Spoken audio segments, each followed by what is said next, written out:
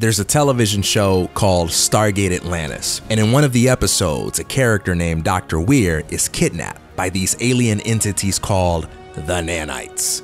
Now, the only way that the Nanites could keep her enslaved was to intimidate her through fear.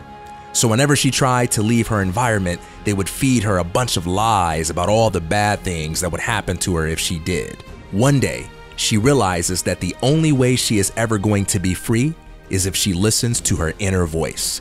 Down this long hallway, she sees a huge Stargate, and she begins to move towards it out of curiosity. As she moves closer and closer, the nanites begin to scream louder and louder, trying to intimidate her. And as she gets one step away from the Stargate, a gigantic beast materializes right in front of her path, and she knows that if she takes another step, that beast might kill her. Finally, she closes her eyes and steps towards the Stargate, passing straight through the beast. It turns out that the beast was just an illusion created by her fears. The reason you step through the beast is because the only way to discover who you truly are is to move in the direction of who you know you were born to be. On the other side of your fear is a superior version of yourself. You don't get to find out who that is. You don't get to meet that person. You don't get to become that person until you step through the beast.